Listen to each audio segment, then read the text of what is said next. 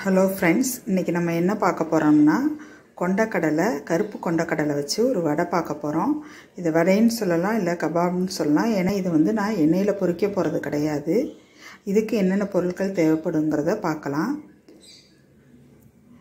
கருப்பு கொண்டக்கடலை ஒரு கப் நல்லா வந்து எட்டு மணி நேரம் ஊற வச்ச கொண்டக்கடலை தண்ணி இல்லாமல் எடுத்து வச்சுக்கோங்க.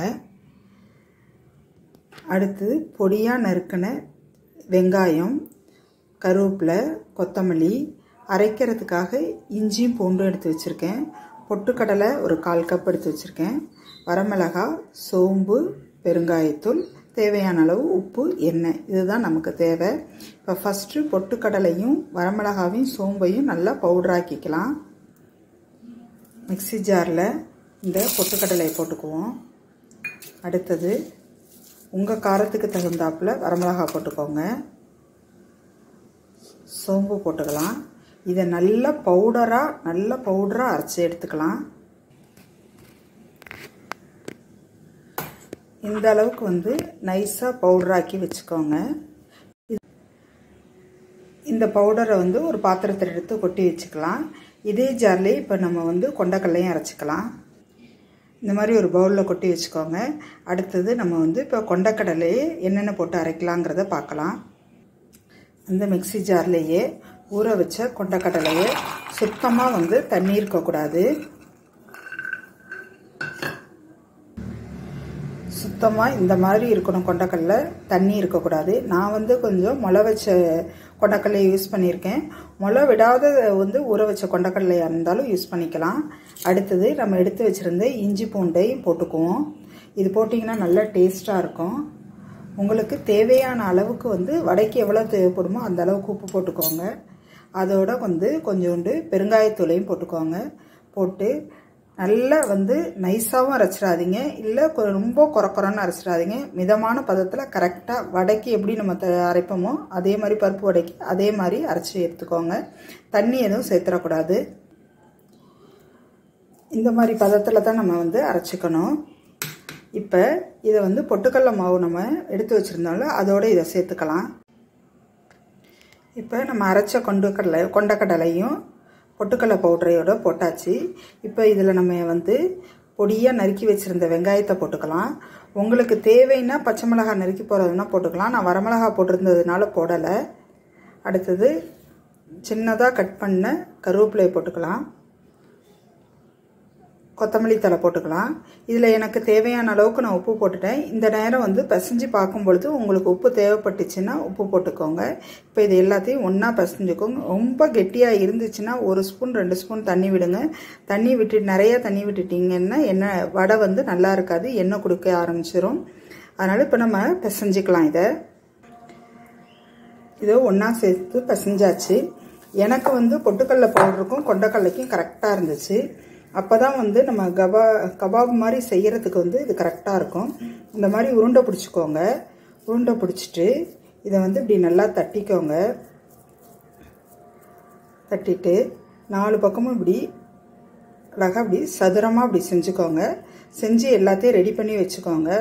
வச்சுட்டு இதில் வந்து எனக்கு உப்பெல்லாம் கரெக்டாக இருந்துச்சு. இந்த நேரம் உங்களுக்கு உப்பெல்லாம் பார்த்துக்கோங்க இதுக்கப்புறம் நீங்கள் தோசைக்கல்லில் போட்டு எண்ணெய் கொஞ்சமாக ஊற்றி ரெண்டு பக்கம் பரட்டி எடுத்தாலும் எடுக்கலாம்.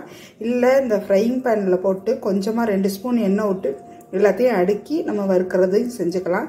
இப்போ எதில் செய்கிறோங்கிறத உங்களுக்கு காமிக்கிறேன். இந்த மாதிரி நீங்கள் எல்லாமே ரெடி பண்ணி வச்சுக்கோங்க.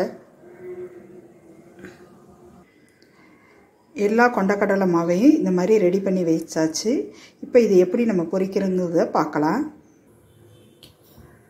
இந்த மாதிரி ஒரு பேன் ஒன்று வச்சுக்கோங்க. இல்லை எண்ணெய் சட்டி வச்சுக்கிறனால வச்சுக்கலாம் இல்லை தோசைக்கல் வச்சுக்கிறனால வச்சுக்கலாம். இப்போ ரெண்டு ஸ்பூன் அளவுக்கு எண்ணெய் ஊற்றுங்க போதும். இந்த அளவுக்கு எண்ணெய் போதும். இந்த எண்ணெய் நல்லா காயட்டும். எண்ணெய் நல்லா காஞ்சிருச்சு. எண்ணெய் காஞ்ச பிறகு அடுப்பை வந்து நம்ம சிம்மில் தான் வச்சுக்கணும். பொறிச்சு எடுக்கிற வரைக்கும் சிம்மில் தான் வச்சுருக்கணும். இந்த மாதிரி வந்து ஒன்று ஒன்றா இதில் அடுக்கிக்கோங்க.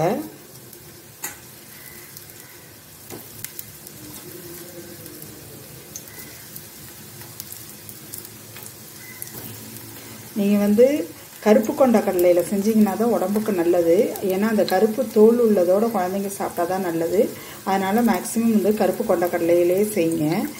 இதை வந்து நீங்கள் வடையாகவும் தட்டி போட்டு சாப்பிட்லாம். சரி எண்ணெய் நிறையா சேர்க்க வேணாங்கிறதுக்காக தான் இந்த மாதிரி செய்கிறோம் இதை நீங்கள் கோலா உருண்டை மாதிரி வந்து எண்ணெயில் பொரித்து எடுத்துட்டு நீங்கள் குழம்புல போட்டு செஞ்சிங்கன்னா இன்னும் நல்லா டேஸ்ட்டாக இருக்கும். உருண்டை குழம்பு மாதிரி செஞ்சு சாப்பிட்லாம். இது ஒரு ஈவினிங் ஸ்நாக்ஸ் இது. குழந்தைங்க ஸ்கூல் விட்டு வந்தோடனே உங்களுக்கு செஞ்சு கொடுக்கறதுக்கு ஈஸியாக இருக்கும். அதுவும் ரேஷனில் இப்போ கொண்டக்கடலை கொடுத்துருப்பாங்க. அந்த கொண்டக்கடலையை வச்சு கூட நீங்கள் செஞ்சுட்டுக்கலாம்.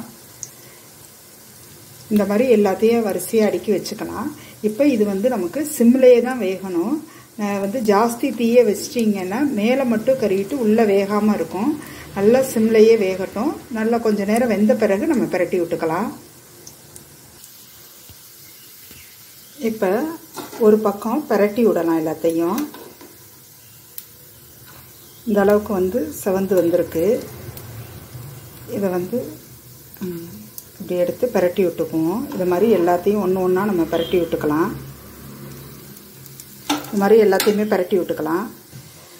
இந்த மாதிரி வந்து எல்லாத்தையும் பிரட்டி விட்டுக்கோங்க. நம்ம ஊற்றுன அந்த ரெண்டு ஸ்பூன் எண்ணெயிலே தான் இது வெந்துக்கிட்டு இருக்குது.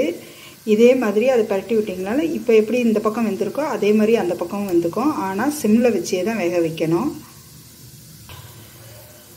அதையும் நல்லா பரட்டி விட்டுட்டேன். அவ்வளோதான் இது நல்லா வெந்துருச்சு. இதை நம்ம வந்து இப்போ ஒரு பிளேட்டில் எடுத்து வச்சுக்கலாம். இந்த தட்டில் எல்லாம் எடுத்து வச்சாச்சு. அதுக்கு வந்து நான் வந்து கெச்சப் வச்சுருக்கிறேன். கெச்சப் வச்சு குழந்தைங்க தொட்டுட்டு சாப்பிடுவாங்க. ஒரு டீயோட இந்த கபாப் வந்து உங்களுக்கு கொண்டக்கடலை கபாப். இது நீங்கள் எண்ணெயில் போட்டு பொரித்து எடுத்திங்கன்னா வடையாக சாப்பிட்டுக்கலாம். எண்ணெய் நிறைய சேர்க்க வேணாங்கிறதுக்காக தான் இப்படி செஞ்சேன். இந்த ரெசிபி உங்களுக்கு பிடிச்சிருந்துச்சுன்னா லைக் பண்ணுங்கள் ஷேர் பண்ணுங்கள் கமெண்ட் பண்ணுங்கள் மறக்காமல் பக்கத்தில் உள்ள பெல் பட்டனை கிளிக் பண்ணுங்கள் கொண்டக்கடலை வந்து குழந்தைங்களுக்கு அவ்வளோ நல்லது. அதை வந்து நம்ம டெய்லி சுண்டலாக கொடுத்தோம்னா அதுங்களுக்கு சாப்பிட்றதுக்கு ஒரே மாதிரி போர் அடிச்சிரும். அதுக்காக தான் இதே மாதிரி செஞ்சு கொடுத்தோம்னா விரும்பி சாப்பிடுவாங்க. தேங்க்யூ